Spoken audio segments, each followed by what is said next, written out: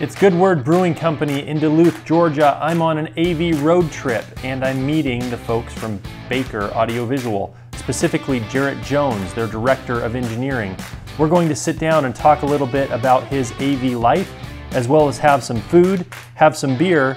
It's technologists in bars talking AV. All right, everybody, hello, and welcome to Technologists in Bars Talking AV. I'm on a road show. I'm in Atlanta, so you're going to see most of these from California, but I'm in Atlanta, Georgia. And when you're in Atlanta, you call the people from Baker Audio Video. So I have Jarrett Jones. Jarrett Jones, wave Jarrett. Hey, how you doing? there you go. uh, we got Jarrett Jones, and uh, what's your role at Baker? I'm the engineering director on the commercial side. Okay, so Director of Commercial Engineering for Yeah, Baker. So, anything corporate, uh, auditoriums, boardrooms, uh, conference rooms, meeting rooms, anything of that nature. yeah, Hotels, just all that, just all Yeah. that easy stuff. How did you get into um, How did you get into AV? Well, I um, I got my first car when I was 13. I put a sound system in it. I put another sound system in it. Yep. Changed it out 10 more times. Started doing other people's sound systems. Mm-hmm. And then um, when I got to high school, I got into um, basically it was almost like a studio production type thing through Channel One Uh-huh. uh, TV program. We had a video toaster, we had uh, recording decks and stuff. We edit, we do like a little feature, and then a little bit of live news and stuff like that. And Oh, I cool. got behind the camera and you know met a lot of people and stuff like that. I was never the talent, so that's why I'm nervous. You know, doing no, this, man, this is just this is just us hanging out. You just ignore that over I was there. the I was the guy miking the talent. Yeah, you were miking the talent. doing, doing stuff like that. Yeah. Um, most people kind of get into it through church or something like that. But yeah. fast forward, I went to um, college and I was doing electrical engineering and RF. Could always like take things apart and stuff like that. Yep. Uh, never put it back together, so learned how to do that. That's the harder part, by the way. Yeah. The taking, I took stuff apart all the time, but I, just, I was never any good at putting it back together. Was the problem? The funny thing out of college is I was minoring in RF and thought I was going to get into this thing called cell phones. You know, that was kind of... Is that a thing now? It was, you know, I just. 1990. Cell phones? I don't know. I, mean, I, I think you, you dodged a bullet. Those will never take off.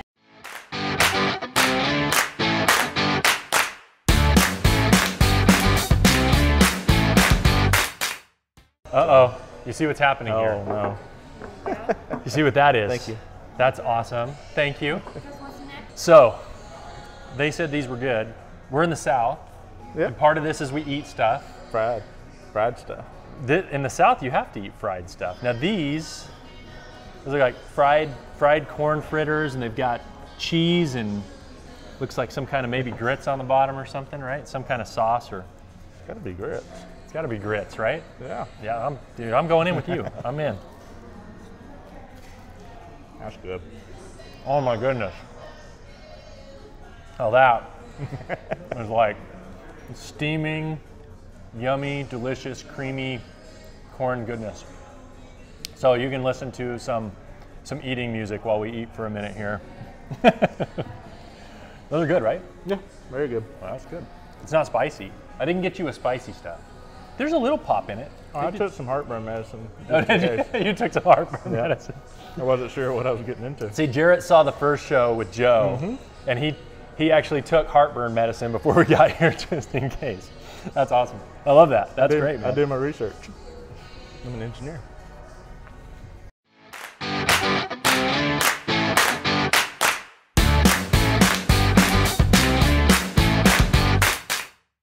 You were if you were thinking about you when you were a kid in high school and stuff, and I mean, you obviously had an affinity for this. You were working at a TV station. You were doing your own car stereos. You love you were doing audio and video. Like, if you were going to design some type of outreach or something like that, what do you where do you think we where do you think we can get the next talent? Do you think we go to colleges and tap into those? Do you think we go to Reddit boards and home theater I think groups? you actually or start at the high school level. high school. Yeah, you have to get it into the vocational program there. Yeah. Um, I was blessed that we had that type of equipment. I don't think most high school, especially, I graduated in '96, so Okay. I'll go ahead and show I was my age. 95. You and me are So- we're, we're right there. In 19, you get the um, the enthusiasm, um, Yeah. and then you show that it's actually a career path. I was set on electrical engineering since I was probably middle school. How'd you how'd you how'd you know that? Just because you were taking things apart, or Just new. I mean, I put, I did eventually put something back together. I did simplify that a little bit, but I did figure out how to do something. But you know, there's a learning process. You have to fail a little bit to succeed. You know? Yeah, I, I think that's I think that's 100% true, and I think I mean the, the people who seem to be valuable as people who are you know um, time-tested project managers, engineers, and people who can troubleshoot in the fail in the field are people that have had those hiccups. Yeah. Right. I mean, If you've never failed, you're you're going to have a hard time later on in life. yeah, for sure. Right. I've got every engineer signed up or already in CTS, CTSI, or CTSD. yep. Uh, very important. CTSD, CTSI. Yep. Oh, oh, do I have do, CTSD. do I have both? I think I have both. wait, wait a second. Awesome, you're D. I'm a D. See, I'll put that. I'll put. It's going to be on his lower third. Actually, right here, his lower third is going to reappear as we as we talk right now. That's awesome. CTSD. Did you take the D when it was? Um, Hard, yeah. thanks. When it was hard. Yeah, thanks for that. So, did you do the system design and all that kind of stuff as part of your. D? My handwriting started going diagonal as the day went on. Yeah. I started out neat, legible, and then uh, as I started doing some of the formulas and drawings, it was Yeah. So this was before it was multiple choice at a Pearson Right. Education Center. You were designing a system yeah, as it was part about of a your 12-hour test, start to finish. Yeah. The That's instru- rough, man. The instructor said, uh, I got "We- lucky. We're serving food at lunch if you Have feel time. like you have time." yes, I brought my wanna- sandwich or whatever. You know, over you could and- eat if you want to Yeah. risk failing. You know. You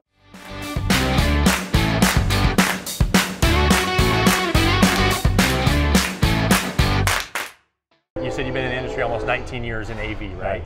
And me being in 16 years.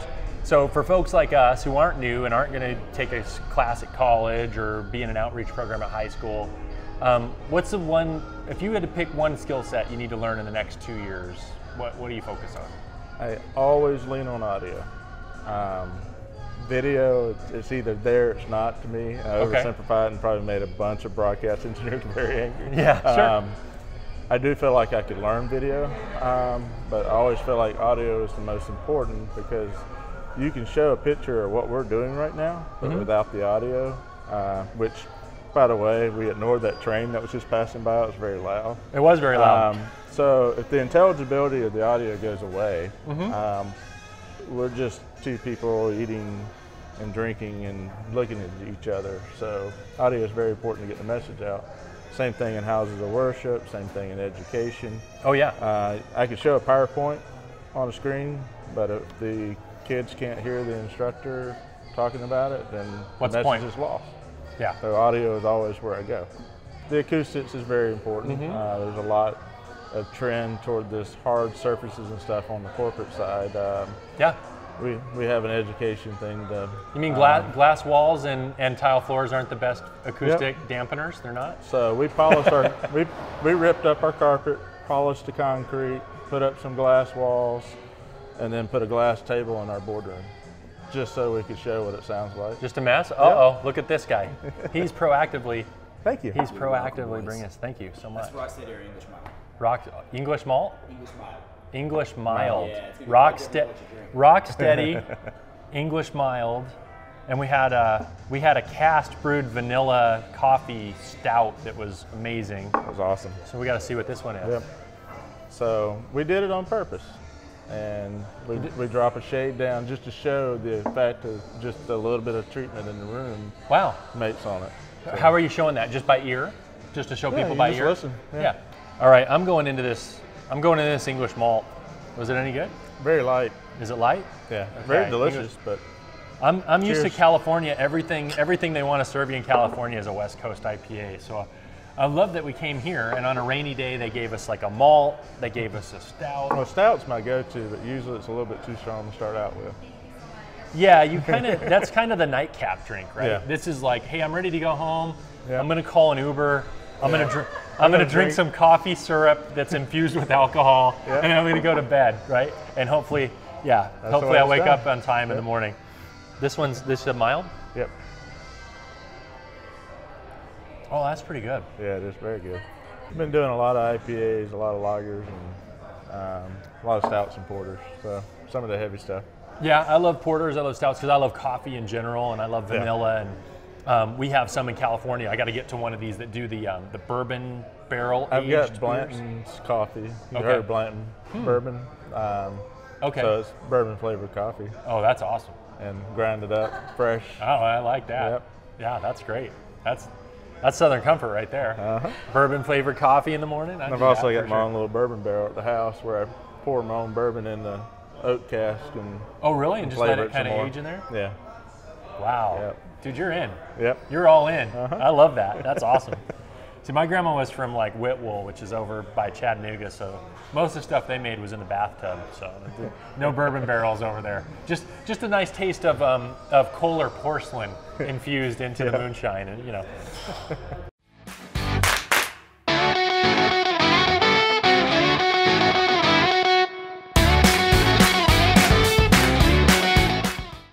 What do you like to do out here? What's what's fun to do in Georgia Well, besides AV? we do go to a lot of places like this. Uh, Yeah. Craft beer is really popping in Georgia now. It's become pretty popular. I go to like five uh, brew fest or so a year. Oh, yeah? Yeah. That's So awesome. it's pretty cool. Um, I'm still in the cars. I just happen to have a Oh, really? project truck. What? So you're probably in one brand because guys who are into cars usually Chevy. you're Chevy. Okay. Yep. So I know if you're. a It's funny. It seems like once you figure out where to get parts Yep. for the brand that you use, you will not. You would not rebuild a Ford because it'll take you four years to figure out all the, stuff you know the about Chevys. distributor's on the wrong side of the engine block. Yeah. They're, They put it on the front. so you're a Chevy guy. yeah. What what uh what year trucks do you? focus- 72. Okay. Yeah. 72 long bed pickup truck. Silverado. Uh, it would be a- classified as a C10 C10. predecessor to the Yep. Silverado. Yep. Yeah. I had no. I had a buddy who they had one that was named Cisco. They named it after the horse in Dances with Wolves because it was like that Chevy tan that the 70s. I think it was like a 76 or 77 Chevy pickup. Was that it? Okay. Were those Silverados by then, or Cheyennes? Some were. Cheyennes was even back in 72. Okay. Uh, I think Silverados popped up late 70s. so Okay, I think that's right. what it was. It was one of like the first generation Silverados, but it was a short bed. They used to call them custom deluxes, and then Okay, they, yeah. then they came in with Silverado, and they did Okay. the whole advertising pitch. And, yeah. But yeah, he used to sit up on the thing with both legs in the engine wheel. I mean, there's a lot of room in there to work around in that engine compartment. So Yeah. that's, that's cool, man. Well, for some people. I seem to struggle in that department Yeah, all the way apparently, around. I think over apparently over time the engine compartments have shrunk. Yeah. So yeah, every time I get in that truck, it just seems smaller in there for some reason. But. I have stood inside engine uh, bays. I have stood on top of tires and everything else. Yeah. I've had a flamethrower shoot at me sideways. Wow. You ever shot um, that quick, fast idle uh, spray in the carburetor? Oh yeah. Yeah. Of course. yeah. that is crazy.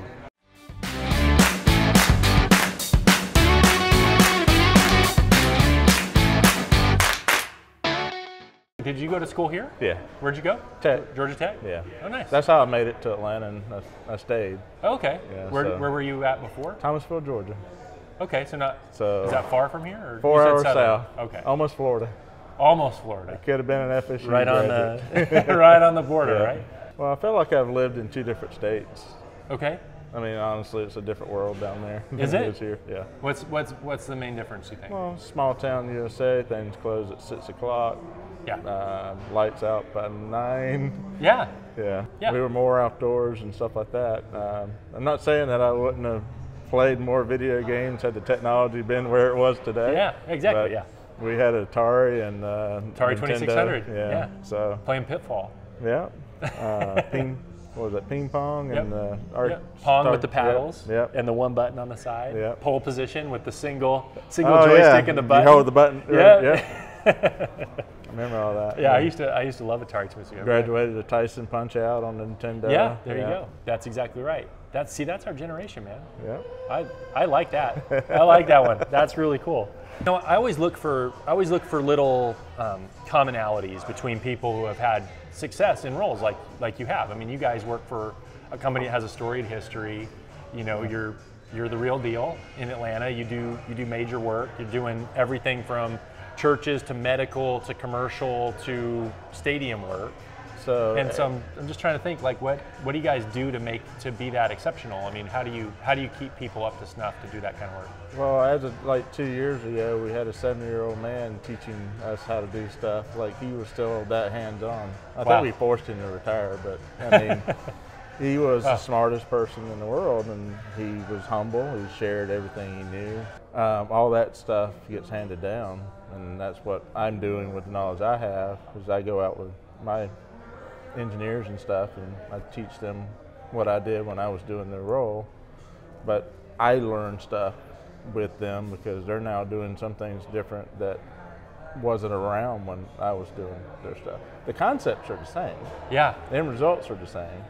Um, I just use my laptop a little bit more than I Yeah, used to. sure.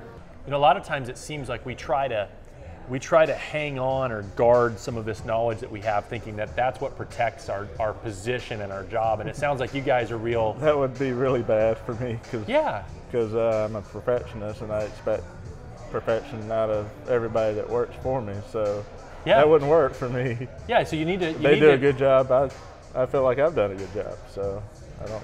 Well, that's great, Yeah. and I, I love the two, the thing you said too, because a, a lot of this is going around that that leader leader mindset. That Yeah. just because you have the experience doesn't mean that you're not open to listening to the guy who perhaps knows something a little Yeah. different than you do. And uh, a lot of Yeah. people aren't open to that. I'm worried that I am who I was talking about when I started the industry. So your fear you- is becoming you know, the, the old closed off my way or the Right. highway guy? Is And I don't you're afraid that. of that? not afraid, just aware of it. I get manufacturers all the time saying, "Let me come over and help help you set it up." And I'm like, "No, stay away. Give me a box. Throw the instructions away. I want to see how it's going to work." Throw the You know. the instructions away thing is funny because I worked at an integration firm where honestly my boss always said he goes, "This is my test for somebody I'm looking to hire for technician." I hand him a piece of gear he's never seen before in the box, and if the instruction manual goes over the left shoulder, he's hired. That could be dangerous too. All right, guys. So this has been Technologists in Bars talking AV. Thanks so much to Jarrett. you. Jarrett, Appreciate it. nice to meet you in person, man. Same here. Um, um, when I get back here, we're gonna do this. We don't have to do it on camera, but maybe we'll do maybe can we'll do do, corn fritters and beer again. yeah. And Awesome, maybe man. some chicken livers or. I'll, I'll eat the chicken livers. Okay. If you see, we should have tried them on. You said you never. I missed opportunity, but that's I okay. think it was. There we go. hey, but thanks for joining us, guys, and we'll see you next time.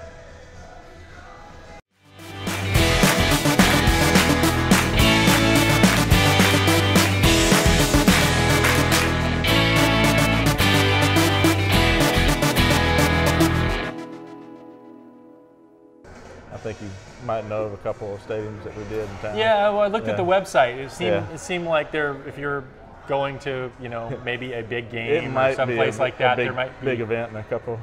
Yeah, there might be Yeah, a a big weeks, a big yeah. game or a big event in a couple weeks where the Baker audio system will be used on a, you know, national stage. Maybe. Yeah, I think so. That's awesome, man. think it'll get some exposure. Yeah, I think so. Yeah, I just heard something. Well, you know, well at least at least everybody will know to boo when the name Tom Brady comes over because they'll be able to hear it properly. Right? Yes, sir. Exactly. There you go. That's awesome. See? Thank you. You're welcome, Patriots. I'm not. Um, I'm not going down that road. you're, not, you're not touching it.